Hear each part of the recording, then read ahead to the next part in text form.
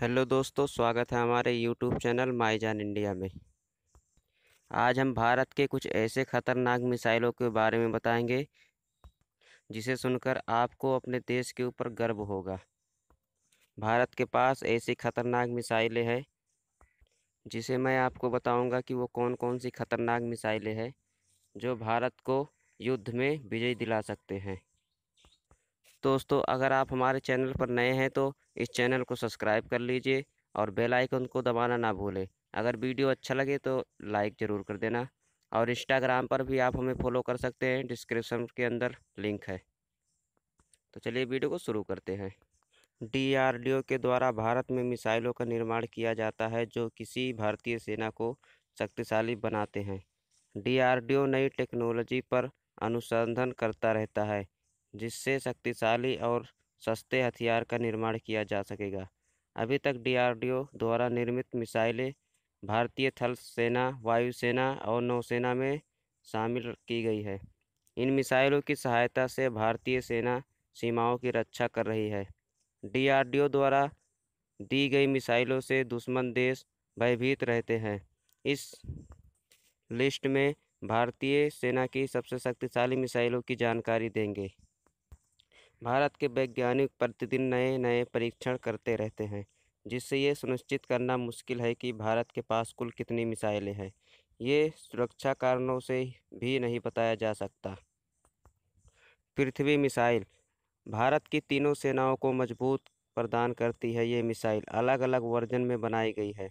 पृथ्वी one, ये थल सेना के लिए बनाई गई है। इसकी रेंज 150 किलोमीटर है। ये अपने साथ 1000 किलो बारूद ले जाने में सक्षम है। इससे ज़मीन से हवा में छोड़ा जा सकता है।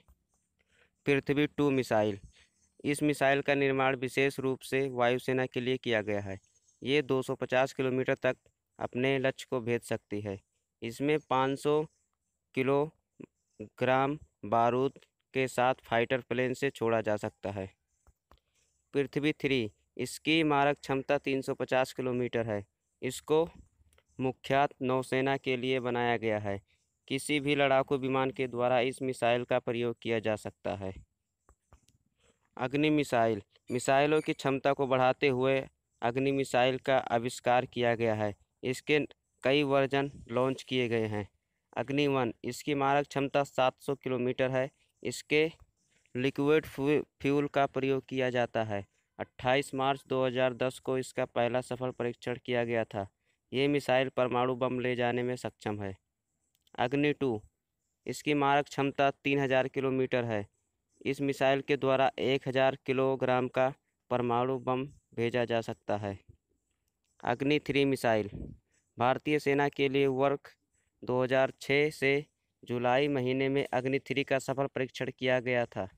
इसकी मारक क्षमता तीन हज़ार किलोमीटर तक है, जिससे चार हज़ार किलोमीटर तक बढ़ाया जा सकता है। इसके द्वारा 600 से 1800 किलो तक के परमाणु बम को भेजा जा सकता है। Agni four missile.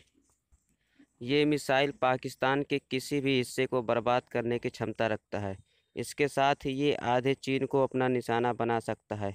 इसकी मारक क्षमता 4000 किलोमीटर है। इसका परीक्षण 2011 में किया गया था। इस मिसाइल को भी परमाणु क्षमता संपन्न बनाया गया है।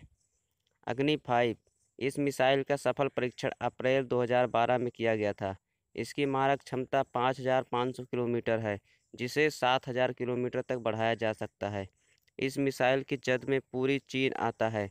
वर्ष 2015 में इस भारतीय सेना को सौंपा सौंप दिया गया था। धनुष मिसाइल ये मिसाइल पृथ्वी थ्री का परिवर्तन है। इस मिसाइल का निर्माण डी आर डी ओ में साल 2000 में किया गया था। पहली बार आई एन एस सुभद्रा से इसका प्रयोग किया गया था।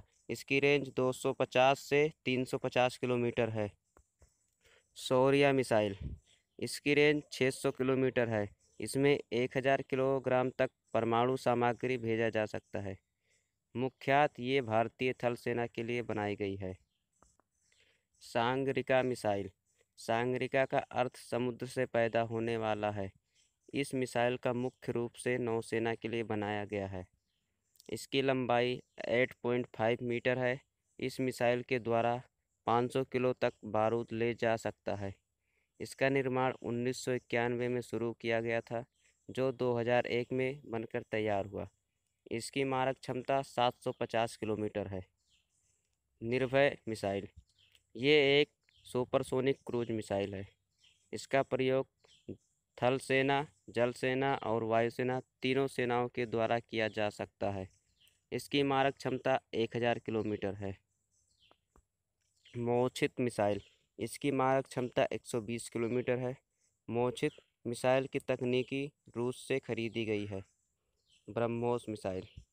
ये एक सुपरसोनिक क्रूज मिसाइल है, जिसके डीआरडीओ ने रूस के एनपीओ के साथ मिलकर बनाया है। इसकी मारक क्षमता 290 किलोमीटर है जिससे 300 किलोमीटर तक बारूद का प्रयोग किया जा सकता है। इस मिसाइल को जल, थल और नौसेना के लिए बनाया गया है। इसकी गति 2.5 से 2.8 मैक स्पीड है। ये दुनिया के सबसे तेज़ गति से चलने वाली क्रूज मिसाइल है। भारत ने वर्ष 2011 तक 110 ब्रह्मोस मिसाइल का निर्माण कर चुका है। आकाश मिसाइल, इस मिसाइल के द्वारा अट्ठारह हज़ार फीट की ऊंचाई पर तीस किलोमीटर की दूरी तक उड़ते हुए लड़ाकू विमान को निशाना बनाया जा सकता है। ये परमाणु तकनीक से संपन्न है। इसके द्वारा एक साथ कई टारगेट पर निशाना लगाया जा सकता है। प्रहार मिसाइल। ये कम रेंज वाली एक शक्तिशाली मिसाइल है। इसकी मारक क्षमता 150 किलोमीटर है। ये मुख्याल थल सेना और वायुसेना के लिए बनाई गई है। ये 250 सेकंड में 150 किलोमीटर की दूरी तय कर सकती है। सूर्य मिसाइल। ये मिसाइल निर्माणाधीन है। भारत सरकार ने अभी तक आधिकारिक रूप से इस मिसाइल के बारे में एक भी खुलासा नहीं किया है।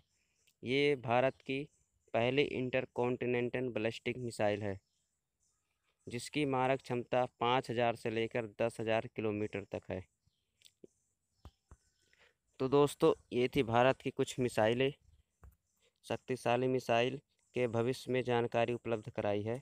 यदि इस जानकारी के संबंध आपके मन में किसी भी प्रकार का प्रश्न आ रहा है तो अथवा उसे कमेंट करके बताएँ। और अगर वीडियो को अच्छा लगे तो इसे लाइक करिए और अपने दोस्तों के साथ शेयर करिए। हमारे चैनल पर नए हों तो प्लीज़ इसे सब्सक्राइब करिए। धन्यवाद।